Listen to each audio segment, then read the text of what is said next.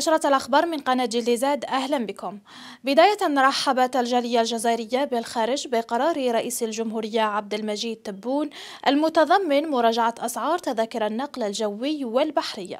ووفقا لما نقله ممثل الجالية الوطنية بفرنسا محمد بخضرة في تصريحات لأذاعة الوطنية فإن رئيس الجمهورية ومنذ ترشحه للانتخابات الرئاسية أبدى حرصه على الاستماع لانشغالات الجالية الوطنية بالخارج ويهتم بالاجتماع بأفرادها في مختلف محطاته الدولية.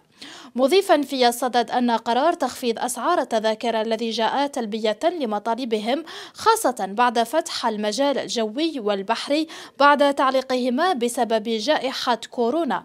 سيكون له الأثر الإيجابي على أفراد الجالية إذ سيشجعهم على زيارة بلدهم وعائلتهم.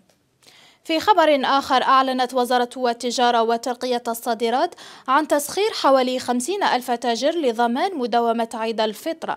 الوزارة أوضحت في بيان لها أنه تم تسخير 49853 تاجرا من بينهم 6250 ينشطون في قطاع المخابز و28458 تاجرا في قطاع المواد الغذائية العامة والخضر والفواكه و14682 تاجر في قطاع النشاطات المختلفة و482 وحدة إنتاجية 230 ملبنة 206 مطحنة و46 وحدة إنتاج مياه معدنية. كما تم تسخير 2265 عون مراقبة عبر كامل التراب الوطني لمتابعة تنفيذ برنامج المداومات. هذا ودعت وزارة التجارة كل المتعاملين الاقتصاديين المسخرين للمساهمة بقوة في إنجاح برنامج المداومة مذكرة إياهم بإلزامية استئناف نشاطهم التجاري وإعادة فتح محلاتهم بعد عطلة العيد طبقا لأحكام المنظمة للعطل خلال الأعياد الوطنية والدينية. أكد المدير العام للوكالة الوطنية لتثمين النفايات كريم ومان اليوم الاثنين عن الشروع في تحيين تشريعات تسيير النفايات لتكييفها مع التوجه البيئي والاقتصادي.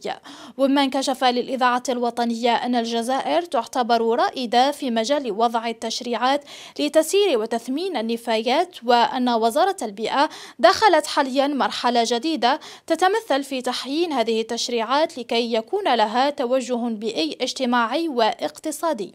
من أجل تكييف النصوص التطبيقية مع هذه الفلسفة والنظرة الجديدة في تسيير النفايات مشيرا في الصدد إلى أن منظومة تسيير النفايات يجب أن تواكب التطور العمراني والمستوى المعيشي للمواطن الذي يجب أن ينخرط في هذه العملية خاصة بعد أن أصبحت النفايات المنزلية التي تقدر بحوالي 13 مليون طن سنويا تشكل موردا اقتصاديا هاما 54% منها هي مواد عضوية يمكن استغلالها لصناعة الأسمدة والطاقة. تتواصل عملية البحث عن الطفل كارثي في الدين الذي اختفى عن الأنظار منذ يوم الجمعة الخامس عشر أفريل الجاري بمدينة مغنية بتلمسان الطفل البالغ من العمر ثمان سنوات شكل لغزا محيرا بعد اختفائه الغامض خاصة وأنه خرج رفقة أبيه باتجاه المسجد لأداء صلاة التراويح حسب مقربون من العائلة. وقامت مصالح الأمن الولائي بإصدار بحث في فائدة العائلات يخص هذا الطفل البالغ من العمر ثماني سنوات والقاطن بحي بندامو بمدينة مغنية. أين تم تشكيل فرق مشتركة تضم مصالح الأمن والدرك الوطنيين والحماية المدنية لإجراء عملية تمشيط واسعة عبر الطريق السيار شرق غرب. كما تم الاستعانة بالفرقة السينو التقنية للكلاب المدربة التابعة للمجموعة الإقليمية للدرك الوطني لتلمسان لتمشيط الأحياء المذكورة. توفي اليوم الاثنين ثلاثة أشخاص في حادث مرور وقع بالطريق الوطني الرابط بين ولايتي غردايا والمنيعة. مركز الإعلام والتنسيق المرور للدرك الوطني أفاد عبر صفحته الرسمية في الفيسبوك أن حادث مرور وقع اليوم بالطريق الوطني رقم واحد في شطره الرابط بين ولايتي غردايا والمنيعة بالضبط على مستوى بلدية حاسي الفحل. مضيفا أن المعلومات الأولية تشير إلى أن الحادث أسفر عن وفاة أربع أشخاص. وفي سياق لقي تسعة أشخاص مصرعهم وأصيب 166 آخرون في حوادث مرور شهدتها عدة ولايات من الوطن خلال الرابع والعشرين ساعة الأخيرة حسب حصيلة أوردتها المديرية العامة للحماية المدنية. هذا الاثنين. في أحوال الطقس نبهت مصالح الأرصاد الجوية اليوم الاثنين من استمرار هبوب رياح قوية بسرعة تصل إلى 50 كيلومتر في الساعة. هبوب الرياح سيكون بداية من منتصف نهار اليوم لتستمر إلى غاية منتصف الليل وتكون مرفوقة بتطاير كثيف للرمال ورداء في الرؤية. أما الولايات المعنية هي ورقلة الوادي تقرت إليزي والمغيرة.